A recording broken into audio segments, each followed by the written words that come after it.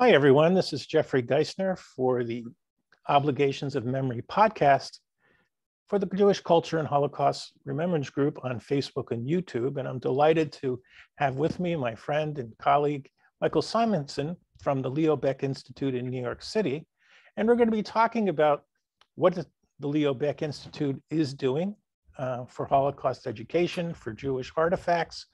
And we might as well start right there and allow you to kind of give us and a lot of our listeners may not know about Leo Baeck. And it would be great for you to sort of start the program by giving us a sense of who is Leo Baeck, what is Leo Baeck, and its mission. So take it away, Michael. Sure, sure. So um, the organization, the Leo Baeck Institute, um, is located in a few, there's a few locations. Um, it's named after Rabbi Leo Baeck. Uh, he was the head of German Jewry in Germany at the time of the um, Holocaust. He uh, had served as a rabbi in Lissa, um, a few other places, and then in, Ber- in, Oberschle- in Oberschlesien, and then in um, Berlin itself. At the time uh, the Nazis took power, he became uh, kind of head of the Jewish administration for Germany. And in that role, as things worsened, he tried to keep the community together, positive, um, to deal with anti Semitism, Nazi anti Semitism. And of course, this soon turned into immigration I mean, no one could imagine what was going to happen with the Holocaust, but it was clear from a very early point that there was no future for young Jewish people in Germany as far as professions or education. So they, the administration began to work to get children, younger people out of Germany. If what could. year? What what year are you? Highlighting? Thirty-three to thirty-eight.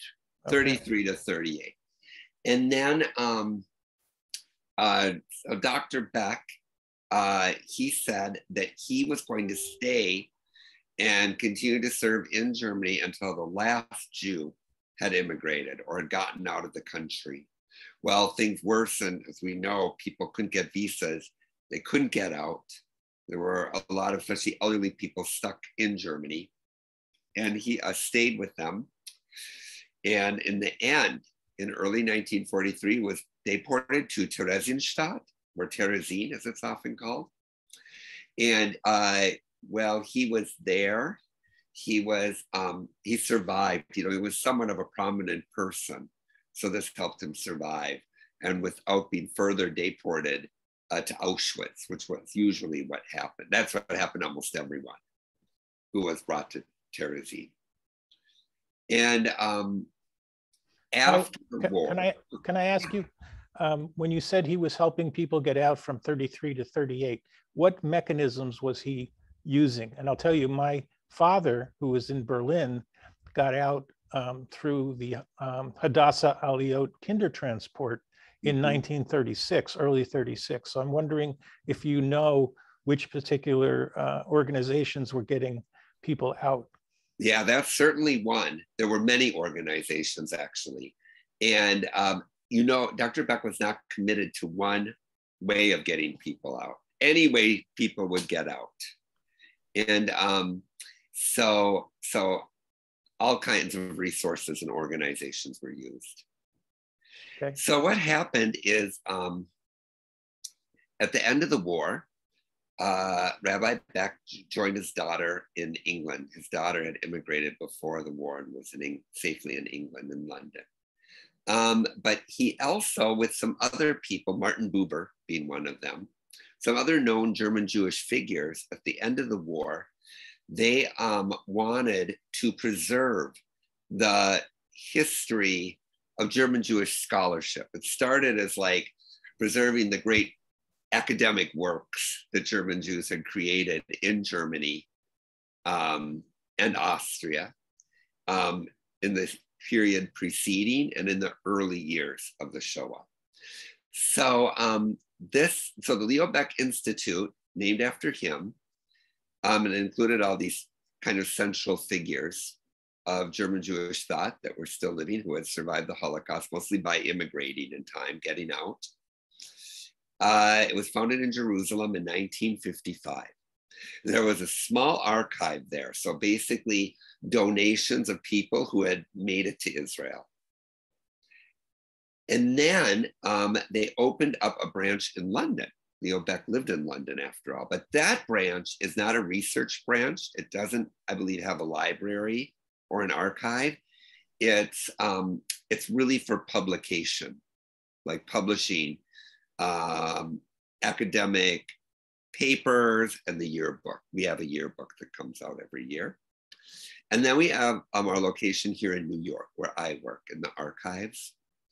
Um, and that is where New York is the biggest Leo Baeck Institute. And where are you in where are you located in New York? Um, we're located close to Union Square. So um, between Fifth and Sixth Avenue on 16th Street. Hmm. So pretty central, okay. really. The village is just a few blocks south, and then Chelsea's just a few blocks away. Now you also have an office in Germany, right? We have an office in Germany. That's part of the Jewish Museum Berlin. Now that has been collecting material and it's been getting more and more. Um, but I think the material they collect is largely from outside of Germany. So they have to kind of make special trips and do a little more legwork to go and meet people and get the material. Um, one thing they have is our collections as well on microfilm. So people can um, go to the Jewish Museum Berlin and go to the Leo Baeck offices and ask for a collection we have. In the old days, they get it on microfilm, but now we have a huge digitization project that's gone on many years. So most of our materials digitized, and so microfilm is rarely used. So needed. do you have a website where the, these these digitized yep, images uh, are? Yep, it's, it's our main website. It's um, www.lbi.org. On the upper right, there's a search field. When you put the cursor there, you can choose to search in the catalog and then type in whatever terms you want. And you'll get a list of results. And then there'll be this choice for almost everything in the archive saying online access. And you click on that, and then you begin the journey through the original material. Okay, so how many people are working at Leo Baeck in the around the world? Around the world, I can't say. I would well, I can I can kind of estimate maybe. Uh, that's kind of fun maybe 55. Okay, and so let's let's tell everyone in the audience what your title is for Leo Baeck, how long you've been there, how yeah. you got how you got there, and a little bit about your background. Sure, sure. So I um, am I have a few titles actually. I started as an archivist at the Leo Baeck Institute, and I specialized in mic in the microfilm program, which has now uh, ended. Um, then I became a rep, the head of reference. We have a reference department, the Dr. Robert Ira Louie Reference Services. What's it, what, is the, what does reference mean? Um, uh, if anyone has a question and they write to the Leo Baeck, that question comes to me. Gotcha. Yeah. So um, uh, through the main inbox, also people write me directly. Most of our reference is handled now through email. And um, that's actually the official policy. We try not to do reference through phone calls and stuff because the problem with that is it takes time to find the material. And then the other person's on the phone waiting and waiting and waiting. And, uh-huh. you know, it's, it often takes a long time. So we, we do it through um, email and um, for the most part. And so I'm head of that. So I get, it's, it's great. I get to answer all kinds of questions, some very uh, you know, maybe on point to the subject, very academic. I also answer a lot of genealogy questions. Um, and, and, well, I think and that's how I think that's how we met. Is I think I wrote about a specific topic yeah. just to the general inbox, and that's how we met. I think. Right. Yeah. And, and also Vera Myers from uh, Jenks on Facebook also recommended right. And yeah. you have, and why don't you tell a little bit about your role for that group too? Sure, I'm happy to. So I help Vera Meyer administer that group. Vera really runs the group, it's her group, but I'm happy to kind of monitor it as much as I can. And if if um, If there's decisions that have to be made about things people have posted and so on, then um, she reaches out to me, or I see the post and I reach out to her, and we discuss what to do. Questionable posts, let's say, yeah. things maybe a little off topic, and so then just kind of organizing the page and and helping to answer people's questions. Sometimes. So when you get the reference um, information coming at you, uh-huh. is it is it sort of bucketed into some major groups that you can share with us? That are most of the most of what you're dealing with is sort of like an 80-20 rule where you know 80% of your questions are always in this particular area yeah i would say half of my questions are in genealogy then about 20, the 20% more will have to do with um, the Holocaust, and then maybe 20% more other aspects of German Jewish history in particular. And I would say the last 10% can be really pretty random because a lot of people come to Leo Baeck and they're writing about topics that aren't necessarily German Jewish at all, but there happen to be Jewish people who were involved. So someone might be writing a book about World War One. Of course, we have lots of stuff from World War One because uh, Jews in both Germany and Austria served their countries in the First World War in, in very high numbers. So I know your grandfather was one of them. Right. And uh, and so people might be coming to write about a certain battle in World War One Someone might be coming, someone came the other day, they were doing research on the history of nursing in Germany. And we have a lot of collections of Jewish women who became nurses. So how do people find how do people find Leo Baeck and know what questions to ask you? So well, our audience is sitting here listening and say they're all they're all very into the Holocaust topic. Genealogy is, is huge um, but mm-hmm. a lot of the things that Leo Baeck is doing. But how does the audi- how does the consumer uh, come to you and know about you? Right. No, it's true. And it's tricky because people don't really know. We aren't like the Holocaust Museum in Washington, for example, that has a big, that's a large presence. And, you know, that's a little bit about the history of the Institute. We're very focused on Germany and Austria, German speaking. So we don't collect anything, for example, from Eastern Europe, unless it has to be, unless it's from people who spoke German and identified culturally as German. And um, same with other places. Of course, we have stuff from everywhere because German Jews, especially when they fled in the 30s, went to many of these other countries. And so we therefore do have material on the Holocaust in Holland and France and Poland and this and that, but as it relates to these families. And um, so, so I would say we have a more so um, a larger social media presence than we used to have. We used to be considered a very small, very academic place. In fact, the Leo Baeck was started by these men in 1955 to gather this material. And then they were going to write a book. I think it was supposed to be a four volume set or something of the history of Jewish scholarship in the German lands. And then this idea changed over time. And actually, that was published by uh, Michael Meyer, Professor Michael Meyer, um, a number of years ago now. But we do have a four volume set using Leo Baeck material.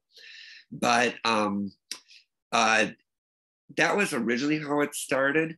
But what happened is it was somewhat based on the collections because people um, donate their material to us, their archival material, photo albums, pictures, vital documents, correspondence, bodies of correspondence, manuscripts. And so these really shape, of course, why people come and use Leo Baeck because uh, you know they want to access these particular things. So it's it's largely fueled by what we have. And we try and promote it. For example, we have an active Facebook page. Uh, we have an Instagram account. So we're trying much more to get the word out there. You know, in the old days, I actually kind of this before my time. But how long, my, how long have you been there? I've been there since 2002. Wow. 2000, yeah, long time. This is my 20th year. And actually, uh, the anniversary is coming up in September. 20 years. Yeah. And so um so they so you know we get this material and that of course uh makes a difference on you know uh, people here we have this particular material. I, in the old days, that's what I was going to say. They actually, I think they want, before my time, they wanted to be kind of a small, isolated academic library that very much talked about German Jewish scholarship of the late 19th and early 20th century, I would say, and even earlier, like Moses Mendelssohn, the Enlightenment, all this kind of thing, Heinrich Heine. So they actually um, always made sure that they individuated themselves from institutions that were focused on the Holocaust, actually.